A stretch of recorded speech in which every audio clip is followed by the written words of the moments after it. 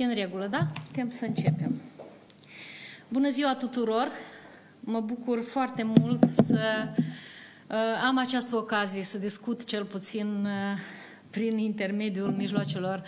media cu toată lumea care este interesată de modul în care uh, încercăm să contribuim la soluționarea problemelor legate cu începutul noului an școlar. Vreau să vă comunic că în calitate de moderator al grupului parlamentar format pe platforma celor patru uh, fracțiuni parlamentare care uh, au instituit un dialog la inițiativa liderului Partidului Democrat din Moldova, domnul Pavel Filip, deci a grupului care se preocupă de problemele legate de începutul noului an școlar, am avut astăzi o a doua ședință regulamentară a acestui grup, la care au participat uh, reprezentanții a trei fracțiuni, PAS, reprezentată de domnul deputat Lilian Carp și PSRM, reprezentată de domnul Vladimir Odnostalco, precum și de reprezentanții Ministerului Educației, domnul ministru Igor Șaruf, a Ministerului uh, Sănătății, Muncii și Protecției Sociale, doamna ministru uh, Viorica Dombrăveanu, la fel precum doamna Raisa Ghelan, reprezentată reprezentanta Ministerului Finanțelor. Am discutat astăzi în continuare despre acele probleme și riscuri cu care uh, ne confruntăm cu toții, în primul rând uh, uh, corpul didactic al Republicii Moldova, copiii, cei circa 500 de copii din instituțiile de educație timpurie și învățământul general secundar, la fel precum și cei din învățământul superior care vor reîncepe Sperăm că în mod, la modul direct al acestei expresii, la 1 septembrie curent, noul an de învățământ. Sunt bucuroasă să vă comunic că am realizat, sper, anumite progrese în activitatea noastră după ședința de vinerea trecută, în care uh, am realizat cu toții că este nevoie de uh, discuții, de comunicare cu organele locale de specialitate în domeniul învățământului și cu cei responsabili din uh, ANSP și din Ministerul Sănătății în ceea ce privește uh, elaborarea unor documente uh, foarte clare, minuțioase și care uh, ating meticulos uh, toate întrebările și riscurile care apar în fața părinților, elevilor, pedagogilor, instituțiilor de educație, managerilor acestor instituții, managerilor din organele uh, locale de, uh, care se ocupă de direcționare, de managementul acestor instituții și sunt bucuroasă să comunic opiniei publice că astăzi uh, am fost uh, informată și ne-au fost prezentate de către Ministerul Educației, Culturii și Cercetării și de către Ministerul Ministerul Sănătății, Muncii și Protecției Sociale două documente importante care vor fi aprobate consecutiv astăzi la Ministerul Educației, Culturii și Cercetării prin ordinul ministrului, documentul care se numește Reglementări speciale privind organizarea anului de studii 2020-2021 în contextul epidemiologic de COVID-19 pentru instituțiile de învățământ primar, gimnazial, liceal și extrașcolar. Este un document voluminos și este un document care ține cont de absolut toate problemele cu care se confruntă instituțiile noastre de învățământ uh, și de educație din uh, întreaga țară. Mă bucur foarte mult că acest document a fost creat într-o colaborare strânsă cu colegii noștri din teritoriu și uh, cu această ocazie Ministerul Educației, Culturii și Cercetării a avut multiple contacte, comunicări, atât uh, directe cât și indirecte, a, a avut colectări de date speciale și necesare, astfel încât acest proiect de orden care, spun încă o dată, astăzi va fi aprobat de către ministru, uh, este o instrucțiune, de fapt, foarte clară a modului în care trebuie să funcționeze instituțiile noastre de educație în timp de pandemie. Eu cred că aceste reglementări vor constitui un suport extraordinar pentru colegii noștri din domeniul educației, în condițiile în care uh, avem atâtea provocări legate de COVID-19 la acest început de an și trebuie să fim pregătiți să depășim aceste provocări în cunoștință de cauză. Un al doilea document care ne-a fost prezentat de către doamna Viorica Dumbrăveanu, uh, ministru de la Ministerul Sănătății, Protecției Sociale și Muncii, instrucțiune care se numește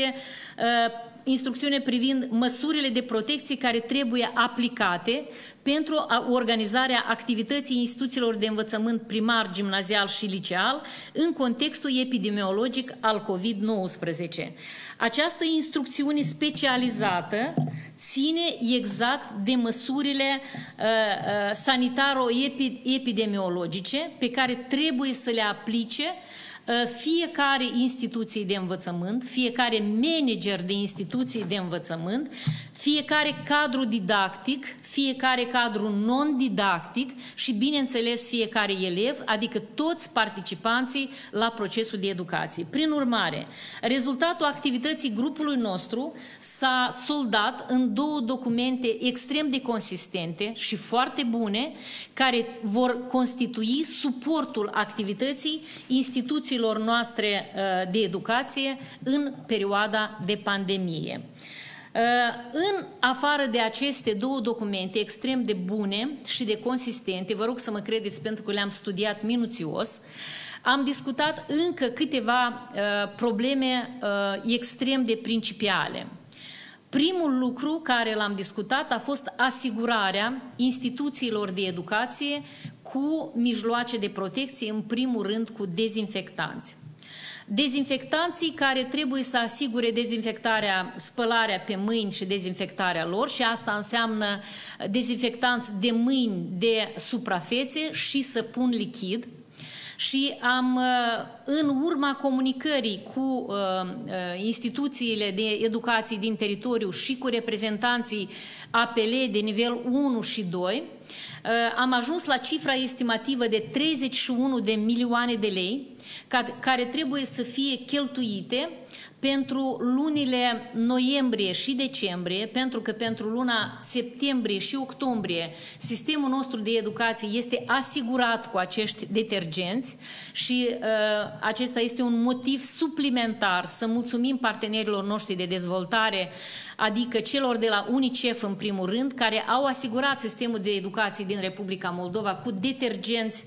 uh, îmi cer scuze, cu dezinfectanți pentru spații și mâini și săpun lichid pentru luna septembrie și octombrie, estimativ pentru lunile noiembrie-decembrie, ținând cont și câte o săptămână de vacanță pentru noiembrie și o săptămână uh, de vacanță premărgătoare sărbătorilor de Crăciun și de An Nou, uh, am estimat o sumă de 31 de milioane de lei, pe care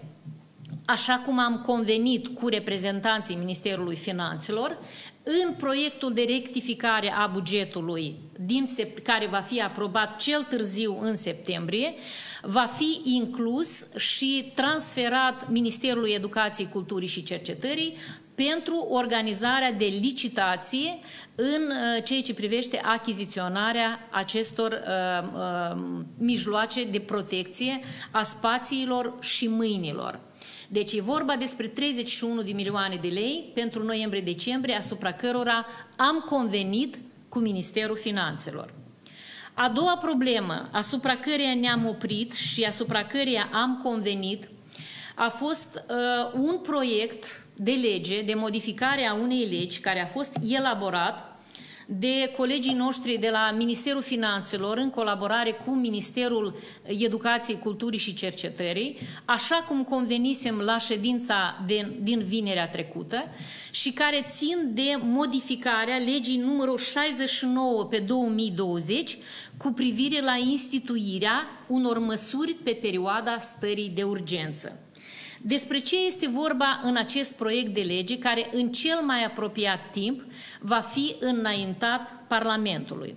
Este vorba de asigurarea temeiului juridic pentru plata orelor suplimentare cu care, uh, pe care cu absolută siguranță uh, le vor uh, realiza cadrele didactice în perioada pandemiei. Dacă veți studia foarte atent reglementările cu care a venit Ministerul Educației, Culturii și Cercetării în funcționarea instituțiilor de educație în condiții de pandemie, veți descoperi acolo șapte modele de funcționare a instituțiilor de educație în dependență de starea sanitaro-epidemiologică, șapte modele care vin de la 1. Prezența 100% a copiilor și cadrelor didactice în instituțiile școlare și până la cel de la cel de-al șaptelea model, uh, învățământul de la distanță. Între 1 și 7 avem câteva modele care înseamnă sau învățământul alternativ o zi la școală, o zi de la distanță, sau uh, învățământul pe schimburi, sau învățământul hibrid. Sunt multe modalități care au fost uh, examinate, într-un fel exersate chiar și în perioada uh, anului de studii precedent și analizate de specialiștii de la Ministerul Educației, Culturii și Cercetării. Având în vedere că în asemenea condiții, vorbesc cu excepția cazului întâi, Vom avea probabil cazuri în care pedagogii în uh, acele prestări de ore în schimburi sau în uh,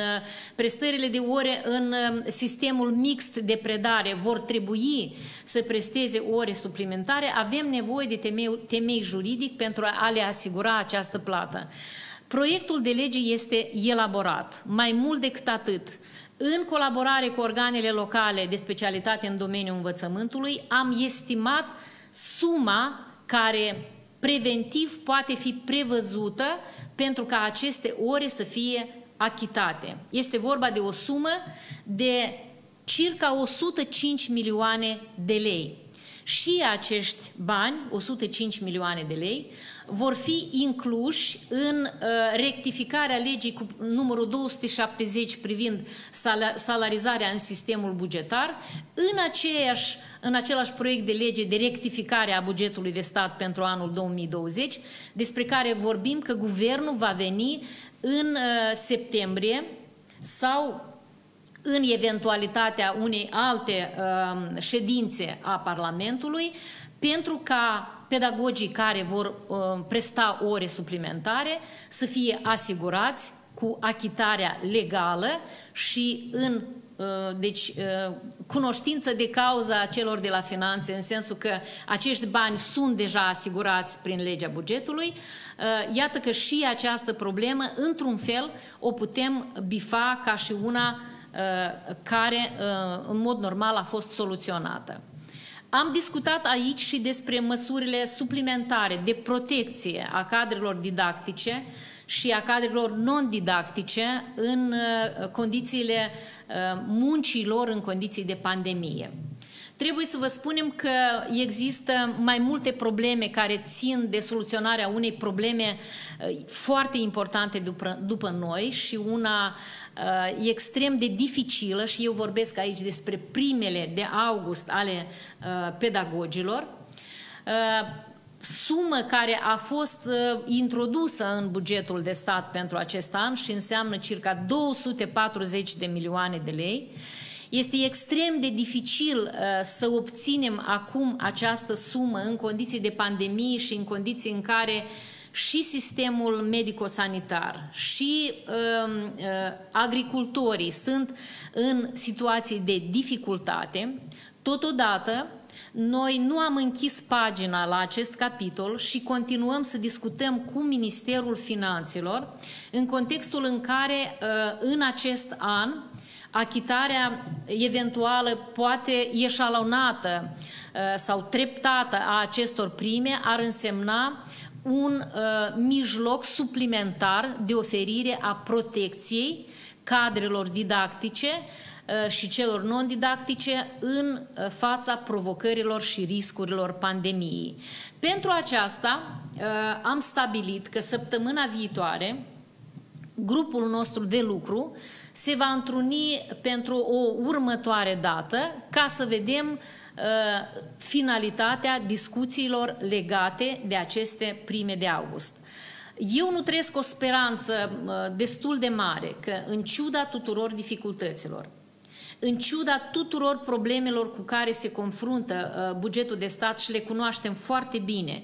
în primul rând, acest deficit de peste 17 miliarde de lei și necesitatea de a-l reduce cu peste un miliard și jumătate cerința Fondului Monetar Internațional. În ciuda necesității uh, absolute de a ajuta agricultorii și domeniul agrar uh, ca să compenseze cel puțin parțial pierderile lor în urma uh, acestei secete uh, absolut uh, uh, incalificabile cu care se confruntă în acest an gospodăriile sătești din Republica Moldova, este nevoie să, gă să găsim căi suplimentare de economii interioare, de soluții suplimentare pentru ca pedagogii noștri să fie și cadrele non-didactice protejați atunci când vor începe anul nou școlar și vor fi expuși unui risc major uh, de uh, îmbolnăviri și de contactări a virusului SARS-CoV. Uh, stimați prieteni, tot ce am făcut începând de la această inițiativă a Partidului Democrat din Moldova, vociferată de liderul ei, domnul Pavel Filip, de a institui grupul fracțiunilor uh, parlamentare responsabile pentru situația actuală din Republica Moldova, inclusiv activitatea grupului pe care am onoarea să-l conduc, sunt îndreptate pentru uh, găsirea acelor soluții cu care se confruntă domeniile cele mai uh, vulnerabile în fața pandemiei. Sunt, uh, aș vrea să fac aici la finalitate și o paranteză în sensul în care ne-am stabilit mai multe întâlniri cu reprezentanții societății civile pe care le vom avea cât de curând, chiar mâine, care vor putea suplini prin propunerile lor uh, acea instrucțiune elaborată de Ministerul Uh, sănătății, Protecției Sociale și Muncii și care va fi aprobată uh, sâmbătă la ședința Comisiei Situații Excepționale, Comisia Națională pentru Situații de Urgență și acest lucru va însemna că uh, găsim posibilitatea să realizăm un dialog foarte larg și politic parlamentar, dar și extraparlamentar cu toți factorii care vor să pună umărul solidar la soluționarea problemelor cu care se confruntă uh, cetățenii Republicii Moldova. Vă mulțumesc pentru atenție și vă doresc tuturor speranțe și curaj, pentru că împreună vom reuși. Mulțumesc!